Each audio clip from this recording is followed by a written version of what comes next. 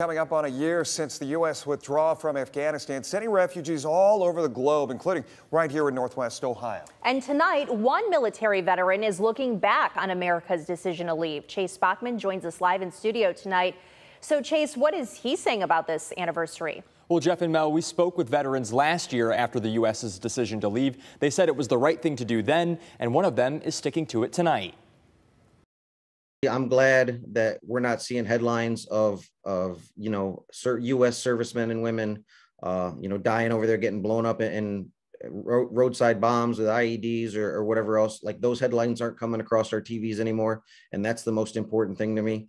Former U.S. Army Sergeant Dave Gedman served three tours overseas, including one in Afghanistan in 2008. He says the country is much more tribal than the United States, making long-term stability much harder the Afghani people, you know, they've got their tribes and they've got their small areas. And I think for them to unite as a country is much more difficult than it would be for us. Since we spoke with Gedman in July, the U.S. withdrew from Afghanistan ahead of schedule, followed closely behind by the Taliban, who quickly reclaimed power. The scenes played out on TV. Millions of Afghan refugees fled the country for safety, where the military evacuated all personnel in a matter of weeks. When you go into these places with with no, I mean, open with like an open-ended kind of no goal, they couldn't unite as well against a, a force like the Taliban.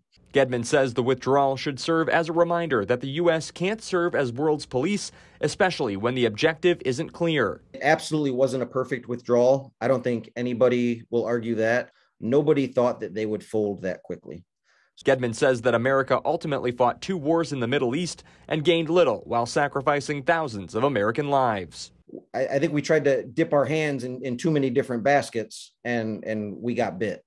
Um, so I think that's the biggest lesson that the U.S. government can learn. The Afghan embassy's website estimates there are as many as 200 Americans still in the country looking for a way to get out.